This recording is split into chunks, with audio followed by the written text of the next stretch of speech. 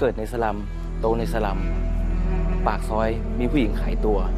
ท้ายซอยมีอบายมุกไปรู้จักกับแก๊งค้ายา ไปขโมยรถ จบด้วยเป็นแมงดาในอาบอบนวด ชีวิตผมที่ผ่านมาเลวร้ายจนกลายเป็นบทเรียน วันนี้ผมจะมาแชร์ชีวิต และบทเรียนที่ผ่านมา โดยเชื่อว่าจะเป็นประโยชน์กับผู้อื่น สวัสดีคุณผู้ชมครับ ต้อนรับเข้าสู่รายการแชร์ชีวิตวันเสาร์บ่าย2โมงทางช่อง9ก่อน HD หมายเลข 30 เพราะชีวิตคือบทเรียนที่ล้ำค่า เราจึงมาแชร์ชีวิตให้ผู้ชมได้ชมกันนะครับสำหรับเรื่องราวที่ผมนำมาแชร์ในวันนี้นะครับ วันนี้ผมอยู่ที่ชุมชนวัดม่วงครับ ซึ่งเป็นบ้านเกิดของผู้ชายคนหนึ่ง เป็นคนต้นเรื่องที่เราต้องการที่จะพูดคุยกับเขา ครั้งหนึ่งเขาเคยเป็นอดีตเด็กเกเรครับ แต่ชีวิตของเขาครับไม่ว่าจะผ่านเส้นทางสายมืด เส้นทางสายสีเทา แต่ท้ายสุดเขาก็กลับตัวเปลี่ยนใจ เดินในเส้นทางสายธุรกิจจนประสบความสำเร็จ จนเป็นติ๊กเงินล้านนะครับ ซึ่งชีวิตของเขาเองน่าสนใจมาก จากอดีตเด็กเกเรที่ครั้งหนึ่งขาข้างหนึ่งก้าวเข้าสู่ ดาวโจรแบบเต็มตัว แต่ท้ายสุดชีวิตเปลี่ยนกลับเข้ามาในเส้นทางสายสุจริต ชีวิตของเขาเปลี่ยนไปได้ยังไง ด้วยวิธีคิดปรับการพลิกชีวิตและคิดแบบโจร คุณติ๊กสิริทัศน์สมเสงี่ยม วันนี้ไปคุยกับเขากันในแชร์ชีวิตครับ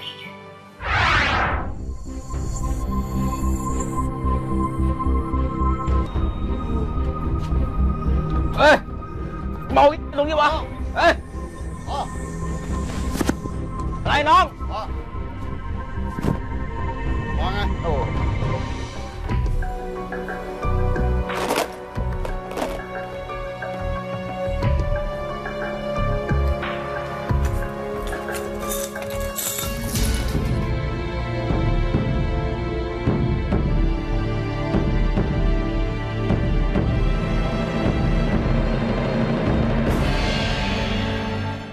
มาแล้วเลยไอ้ตัวดี น้อย แม่สอนให้เป็นคนดี ให้ตั้งใจเรียนทำไมทำตัวแบบนี้ฮะ ติ๊กเอาภาพพ่อไปขายใช่ไหมเปล่าครับพ่อ พ่อไม่เคยสอนลูกให้เป็นขโมยทำไมลูกต้องขโมยคุณติ๊กเป็นคนที่ไหนครับ เป็นคนโคราชโดยกำเนิดไหมฮะโคราชโดยกำเนิดครับผมอยู่ที่นี่มาตั้งแต่เด็กเลย ตั้งแต่เด็กเลยครับอ่า เกิดที่นี่โตที่นี่เลยครับครับครับอยู่ที่ไหนครับ อ่าชุมชนวัดสแกอ่าข้างๆตลาดเทศบาลหนึ่งเขาเรียกตลาดเก่าคนโคราชเขาเรียกตลาดเก่าครับ อ๋อ ซึ่งตรงนั้นเป็น ชุมชนแออัดไหมหรือว่า อ่าภาษาภาษาสวยงามเขาเรียกชุมชนแออัดครับ อ่าภาษาชาวบ้านเขาเรียกสลัม ชีวิตที่นั่นเป็นยังไงบ้าง ผมโตมากับวงไพ่อ่าโตมากับอบายมุกทุกอย่าง ปากซอยบ้านผมเนี่ยมีผู้หญิงมาขายตัวตอนค่ำๆตอนกลางคืนนะครับ ท้ายซอยอะมีขายยา มีเล่นยา ไปทางขวาก็การพนันไปทางซ้ายก็ก็มีแต่เรื่องไม่ดีนะครับ ก็โตมาจากอย่างนั้น ผมรู้จักกับบ้องกัญชาเนี่ย ก่อนรู้จักไม้บรรทัดที่ใช้เรียนในหนังสือด้วยซ้ที่บ้านคุณพ่อคุณแม่ำครับ ครอบครัวเราอยู่ด้วยกันอยู่ด้วยกันครับ เขาบอกเขาสอนอะไรเราไหมฮะเพราะจริง ชีวิตเราอยู่ในสเอ่นามเลยนะอมันมีอยู่สองพาร์ท ครับ พาร์ทแรกคือเรื่องเรื่องการบอกการสอนเนี่ยนะฮะอ่าเขาทำหน้าที่ได้เต็มที่อย่างที่พ่อแม่ทุกคนเนี่ยทำแล้วอ่าข้อที่สองเนี่ยด้วยการที่บ้านเราครอบครัวเรายากจน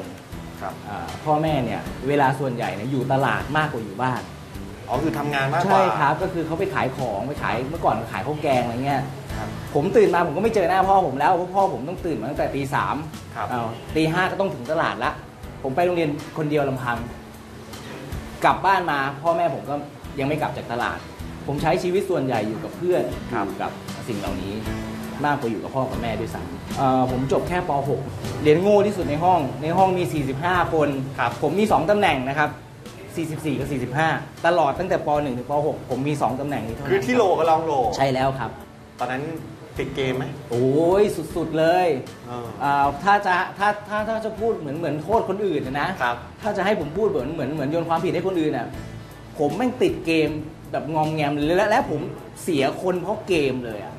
ทำความผิดเนี่ยก็ทำแบบซ้ำแล้วซ้ำเล่าผิดเรื่องเดิมๆขโมยของในบ้านไปขายเนี่ยเราไปจนถึงขโมยของบ้านเพื่อนบ้าง ไปจนถึงขโมยของคนอื่นที่ไม่ใช่ของในบ้านตัวเองบ้าง ผมก็เลยโดนพ่อแม่เนี่ย ลงโทษแบบหนักมาก อืมลูกคนอื่นอาจจะแค่โดนตีก้นอ่าโดนตีมือ หรือโดนดุเวลาทำผิด แต่ของผมนี่ไม่ใช่นะครับ อะไรที่อยู่ใกล้ตัวพ่อผมเนี่ย ผมโดนสิ่งนั้น จนครั้งหนึ่งพ่อโมโหมาก ผมก็จำไม่ได้ผมไปทำความผิดอะไรเพราะมันหลายอย่างมาก พ่อก็เอามีดปลายแหลมใช้ปอกผลไม้ครับ คว้างมาที่ผม ผมก็กันอย่างนี้แล้วก็มาปักที่ตรงนี้ แล้วเลือดก็ไหลลงมาแถวเดี๋ยวนั้นทันทีเลย แล้วผมก็ดึงมีดออกแล้วผมก็วางมีดแล้วผมก็หนีออกจากบ้านตั้งแต่วันนั้นเป็นต้นมา อายุ 15 เนี่ยได้บัตรประชาชนตอนเช้าครับ ตกสายๆผมขึ้นรถทัวร์บกสเก่าไปกรุงเทพเลย เป็นคนที่เรียบง่ายเมื่อตอนยังเยาว์วัยอยู่ เป็นเด็กที่ ออกจะมีอาการก้าวร้าวกับเพื่อนกับฝูง แล้วก็ ความเขาเรียกว่าโลดผนโจรทยานมีมากขึ้น แต่กับผมเองเขากลัว เขากลัวผมมาก เพราะผมเป็นคนที่มีอารมณ์ร้อน อย่างหนึ่งแล้วอีกอย่างหนึ่งก็คือ เวลาลูกไปทำอะไรผิดมาเนี่ย บอกครั้งหนึ่งแล้วไม่ฟังเนี่ย ครั้งที่สองผม ไม่สนใจเลย ต้องกำลาบ ทีนี้นับวันเขาก็ค่อยมีพฤติการที่อะไรวะคล้ายกับว่าออกในทางที่ไม่ดีกับสังคมอะ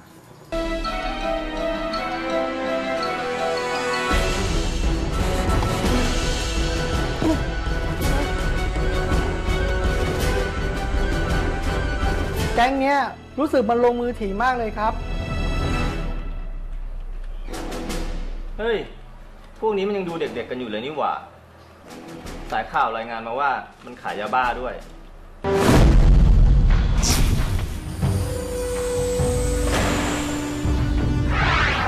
ไปด้วยเงินร้อยกว่าบาทตอนนั้นไปถึงกรุงเทพจริง ๆ อะ เหลือตังค์40 บาท เหลือตังค์40 บาท หิวข้าวก็ลงจากรถหิวข้าว ไม่รู้จะทำยังไงก็ไปกินกำลังจะไปสั่งก๋วยเตี๋ยวกินก็ล้วงตังค์ในกระเป๋า เอ้าตังค์หายนี่หว่าตั้งหาตังค์หายไปไหนวะ40 บาทสุดท้ายในชีวิตเราแล้วมันหายไปไหนวะอะไรเงี้ยคิดในใจเอ๊ะหรือหายบนรถทัวร์วะอะไรเงี้ยเหลือสิ่งที่ผมเหลืออยู่มีสองอย่างในตัวคือบัตรประชาชนของผมกับอ่ากระดาษอ่าเบอร์โทรศัพท์ของเพื่อนรุ่นพี่ผม แต่ตังค์ผมมาหายไปแล้วเพราะผมไว้คนละกระเป๋าไงครับหิวข้าวตัดสินใจสั่งก๋วยเตี๋ยวกิน สั่งก๋วยเตี๋ยวเลย เส้นเล็ก เอา ลูกชิ้นเยอะๆ พิเศษแป๊บซี่เย็นๆหนึ่งขวด น้ำแข็งเย็นๆแก้วหนึ่งผมสั่งแบบด้วยความสะใจมากครับ แล้วผมก็กินมันทั้งในที่ไม่มีเงิน ไม่มีตังค์ครับ แต่ผมคิดไว้แล้วว่าผมจะหาทางออกยังไง ก่อนที่ผมไปสั่งผมก็สั่งกินครักิบ นกินด้วยความสะใจด้วยความหิวกระหายของผมด้วย ผมก็กินก๋วยเตี๋ยวชามนั้นอะ อย่างมีความสุข แล้วเราตัดสินใจยังไงครับ ตัดสินใจมองซ้ายครับ สองครั้ง มองขวาอีกสองครั้ง แล้วก็เงยหน้ามองไอ้เท่าแก่ขายก๋วยเตี๋ยวอีกครั้งหนึ่งทางสะดวก วิ่งหนีเลยครับ ผมโดนลูกน้องของร้านก๋วยเตี๋ยวเนี่ยซึ่งเป็นแรงงานต่างด้าวเนี่ย ตามไปไล่กระทืบผมบนเอ่อสะพานลอยจมตีนมันเลย นั่นคือเหมือนกับด่านทดสอบด่านแรกในชีวิตใช่ที่ครัเข้าบมาในกรุงเทพใช่ครับแล้วมันเป็นอย่างที่เราคิดไหมเอ่อเกือบเป็นได้ไปรู้จักกับแก๊งขโมยรถ ซึ่งแรก ๆ ก็ไม่รู้หรอกว่าเขาเป็นใคร ผมครัก็บไม่รู้หรอกว่าเขาเป็นแก๊งขโมยรถเขาก็เป็นคนที่มานั่งอ่าดื่มเหล้า ด้วยในร้านด้วยกันแล้วเจอกันบ่อย ด้วยความที่เจอกันบ่อยก็เลยพูดคุยกัน ก็เลยเอ่อเสนอตัวขอไปอยู่กับเขาคือผมคิดอย่างนี้ฮะตอนนั้นน่ะ ผมผมแจกใบปลิวได้วันละสองร้อย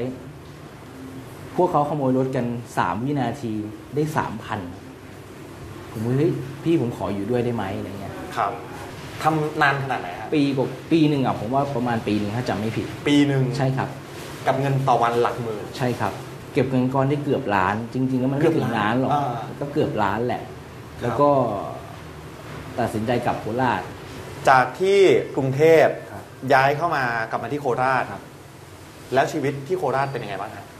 ดิ่งลงเหวทันทีแล้วก็สุดท้ายหมดตัว หมดตัว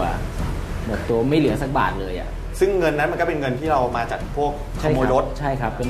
เงินพวกเนี้ยมันเขาเรียกเงินไร้ความพยายาม เงินที่ได้มาโดยโดยโดยไม่มีความพยายาม มันก็เลยหมดไปง่าย ๆ โดยที่ไม่ต้องพยายามมากมายนะก็หมดครับ ขโมยรถว่าว่าไม่ดีมากแล้วครับ มีเส้นทางชีวิตที่เราเลือกไม่ดีกว่านั้นอีกนั่นคือ นี่แหละครับ ติดคุกเลยคราวนี้หนักกว่าเดิมเลยคำว่าดิ่งลงเหวนี่เหวสุดๆเลย ติดคุกเพราะค้ายาบ้า ไปอยู่ในคุกนานขนาดไหนครับ 11 วันครับ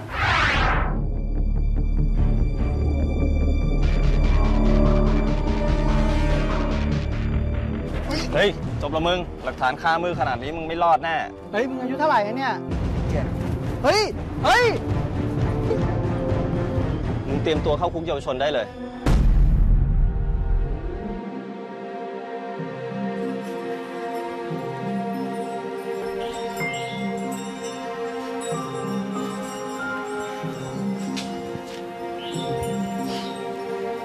ผมขอโทษกับแม่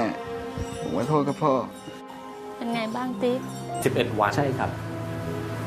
11 วัน เจออะไรบ้าง ความเจ็บช้ำน้ำใจ เจอความทุกข์ทรมาน เจอสิ่งที่ไม่เคยเจอ เจอโลกอีกใบที่ทำให้คิดได้ ทำให้คิดได้เลยเหรอใช่ครับ แสดงว่ามันมันต้องมันต้องทำให้เราเปลี่ยนไปเลยกับความคิดเราอะณตอนที่อยู่ในคุก ใช่ครับ ที่เปลี่ยนเนี่ยเปลี่ยนมันมันมันมันมันเปลี่ยนแบบ ชั่วข้ามคืนเดียวเองเลยนะ เพราะว่าชีวิตผมเมื่อวานนี้ ครับ ผมนอนอยู่บนที่นอนนุ่มๆ กับผ้าห่มผืนเดิมๆ ที่ผมชอบ แล้วเปิดทีวีช่องเดิมที่ผมดูทุกวัน ส่วนอีกวันหนึ่งถัดมา ผมนอนบนพื้นกระดานไม้ หนาว เจ็บเนื้อเจ็บตัว เพราะโดนซ้อมมาก่อนหน้านี้ ในขณะเดียวกันฝนตกแรงเหมือนตอนนี้ที่เราอัดรายการกันอยู่เลย ผมได้แต่มองลอดลูกกรงออกไปมองที่ ดาวที่อยู่บนฟ้าเนี่ยว่าเมื่อวานเนี้ยเรามองดาวต่างจากวันนี้มากเลยครับครับ ผมเลยคิดได้ว่า เราทำผิดมหันต์เราเลือกผิดเลือกทางเดินชีวิตผิด สิ่งที่สิ่งที่ทุกข์ที่สุดในชีวิตคนมันมีไม่กี่อย่างหรอกและหนึ่งในนั้นคือการสิ้นอิสรภาพ การสิ้นอิสรภาพนี่แหละทำให้ผมอยากกลับตัวและจะไม่กลับไปที่คุกนั้นอีกเลย แต่ท้ายสุดชีวิต พึ่งพิงก็คือบ้านของเรา ใช่ครับ ครั้งสุดท้ายเนยทำให้ผมคิดได้อย่างรุนแรงอย่างเปลี่ยนตัวเองได้อย่างมหาศาลคือ ที่ผ่านมาที่พ่อกับแม่พยายามเขี่ยวเข็นให้เราอยู่ในลูกในรอยอยู่ในเส้นทางที่มันถูกต้องเนี่ยเรากลับมองว่าเขาอะโหดร้ายกับเรา และเราก็ผลักตัวเองออกจากเขาเอง ก็เลยคิดได้ว่าต่อไปเนี้ยก็จะทำเพื่อเขาทุกอย่างก็จะเพื่อเขาหมด แล้วก็คิดได้ว่า เพื่อนที่เคยกินเหล้าอยู่ด้วยกัน เพื่อนที่เคยบอกว่ารักเรามากจริง ๆ ตอนผมติดคุกก็ไม่เคยเห็นสักคนเลยที่มาเยี่ยมผม ตอนผมจนก็ไม่เห็นมีเพื่อนคนไหนสักคนเลยหยิบยื่นเงินมาให้ผมสักร้อยหนึ่งก็ไม่มี ผมเคยจนขนาดขอข้าววัดกินนะ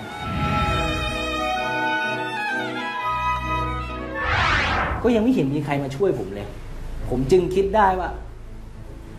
กูต้องเอาครอบครัวกูไว้ก่อน กูจะทำทุกวิถีทางอย่างสุดจริตให้ครอบครัวกูมีอยู่มีกินอย่างสุขสบาย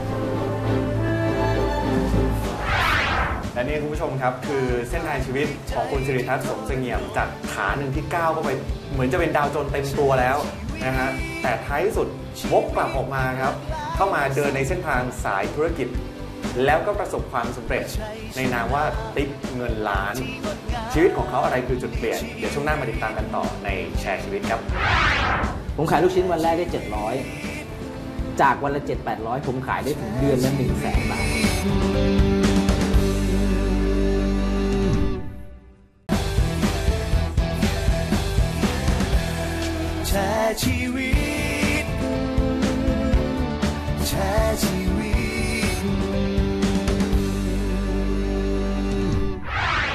คุณติ๊กครับ ตอนนั้นตอนที่เราตัดสินใจว่าจะทิ้งอบายมุกทุกอย่างออกไปเนี่ยครับอะไรมันเป็นจุดเปลี่ยนทำให้เราคิดได้ครับอ่าผมเคยอยู่ในวงการสีดำทำเงินได้เป็นล้าน ก็ไม่เห็นว่ามันจะเหลือเลยอะผมก็เลยผมก็เลยมานั่งย้อนคิดดูว่า เราเคยลองทำดีที่สุดแล้วหรือยังเราเคยแต่ว่าทำทำในวงการแย่ๆแล้วได้เงินล้านเราเคยละ แต่เงินก็ไม่เหลือ แต่เรายังไม่เคยทำดีที่สุด ในทางที่ดีๆ เลยอะ่ะ ดูซิมันจะรวยไหมวะ ดูซิเงินมันจะเหลือไหมก็เลยลอง ก็เลยท้าทายตัวเอง ท้าทายตัวเองลองทำดู ครับ อาชีพแรกที่เรากลับมาทำในเส้นทางสุจริตคือทำอะไรครับ ขายลูกชิ้นทอดข้างถนนครับ ผมขายลูกชิ้นวันแรกได้เจ็ดร้อยหักกำไรแล้วก็เหลือประมาณสี่ร้อยสามร้อยพูดง่ายๆสมัยก่อนกำไรครึ่งหนึ่ง ผม จากวันละเจ็ดแปดร้อยผมขายได้ถึงเดือนละหนึ่งแสนบาท อยากมีรายได้อะเดือนละหนึ่งแสนบาทจะต้องทำยังไง ผมก็เลยหารออกมาเลยว่า ถ้าจะต้องมีรายได้เดือนละหนึ่งแสนคุณจะต้องหาเงินให้ได้ วันละสามพันสามร้อยสามสิบสามบาท คุณถึงจะมีรายได้เดือนละหนึ่งแสนบาท แล้วทำยังไงล่ะถึงจะได้วันละ 3,333 บาท เพราะว่าขายลูกชิ้นอย่างเดียวคนเดียวสาขาเดียวเนี่ยขายได้เต็มที่สุดๆเลยนะ ขายดีสุดๆ ก็วันละ 2,500 พอเรามีเป้าหมายเราจะหาทางไปสู่เป้าหมาย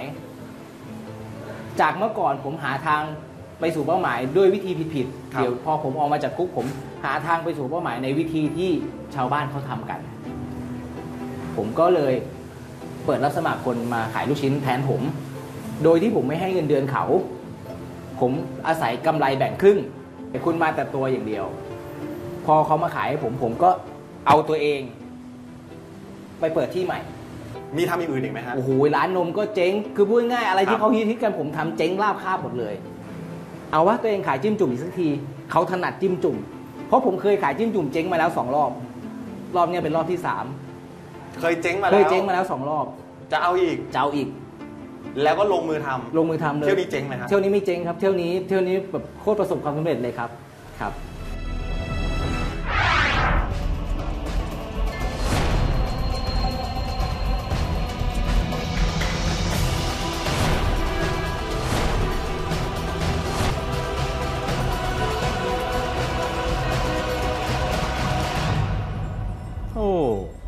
คนเยอะนะยังไงครับพ่อก็ผมคิดแบบโจรไง คิดแตกต่างไม่เหมือนใคร ลูกค้าถึงเยอะแบบนี้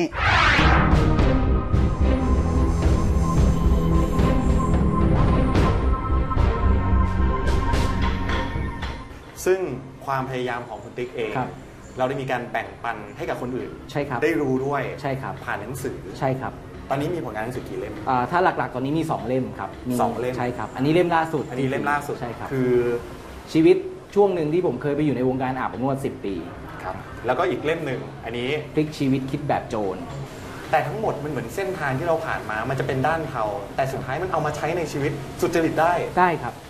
เพราะว่ามันมันอยู่ที่มันอยู่ที่มุมมองเรา แล้วมันอยู่ที่วิธีการเอามาใช้มากกว่า เหมือนปืนอยู่กับตำรวจกับปืนอยู่กับโจรเนี่ย มันถูกเอาไปใช้ไม่เหมือนกันไงครับ ปืนยิงคนตายเหมือนกัน แต่ทำไมพออยู่กับตำรวจ ประชาชนดูอุ่นใจ แต่พอปืนมันมาอยู่ในมือโจรทำไมประชาชนนึกรีบปิดบ้านหนีกลัว เห็นไหมครับ มันอยู่ที่เราเอาไปใช้แบบไหน และมันอยู่ที่ใครเอาไปใช้ยังไง แต่ทั้งหมดเท่าที่ฟังจากคุณติ๊กเองครับ ตอนที่เราเปลี่ยนชีวิตได้ครับส่วนหนึ่งจากคุณพ่อคุณแม่ด้วยครับ เขาเคยพูดไหมว่าเขาภูมิใจในตัวลูกหลังๆมาพูดหลังๆมาเขาก็เริ่มเริ่มอ่าเขาเรียกว่าอะไรเขาก็เขาดีใจ ผมก็ดีใจที่ทำได้ ผมก็คิดไม่ถึงว่าเด็กที่เรียนหนังสือไม่จบสามารถเขียนหนังสือขายได้ ลูกเราเก่ง เราก็แอบภาคภูมิใจในตัวและนี่ครับคุณผู้ชมครับ เส้นทางชีวิตของคุณติ๊กจิริทัศน์สมเสงี่ยม ซึ่งชีวิตของเขาก็ได้บอกให้กับเราได้เห็นภาพได้ชัดแบบหมดเปลือกเลยนะครับว่า การวางแผนนี่แหละ ทำให้เขาไปถึงฝั่งฝัน และที่สำคัญอย่าดูถูกประสบการณ์ชีวิตของตัวเอง ไม่ว่าเรื่องราวเหล่านั้นมันจะดี หรือว่าจะร้ายจนกระทั่งไม่คิด ไม่เคยคิดไม่เคยฝันว่าจะมีชีวิตได้ทุกวันนี้ นี่คือเส้นทางชีวิตที่ต้องบอกว่า ผ่านจากดาวโจรแบบเต็มตัวท้ายสุดพลิกชีวิตกลับมาเป็นนักธุรกิจเงินล้านได้ นี่คือคุณติ๊กสิริทัศน์วันนี้ต้องขอบคุณคุณติ๊กมากๆนะครับที่มาร่วมแบ่งปันแล้วก็สร้างแรงบันดาลใจกับรายการของเรานะครับยิขอบนคุดีณครับครับ สวัสดีครับ คุณผู้ชมครับสามารถแบ่งปันเรื่องราวแชร์ชีวิตของคนใกล้ตัวของคุณได้นะครับที่ Facebook แฟนเพจรายการแชร์ชีวิตนะครับรวมทั้งติดตามรายการของเราได้ใหม่ วันเสาร์ทางช่อง9กด HD หมายเลข 30เพราะชีวิตคือบทเรียนที่ล้ำค่าเราจึงมาแชร์ชีวิตแชร์ชีวิกันครับต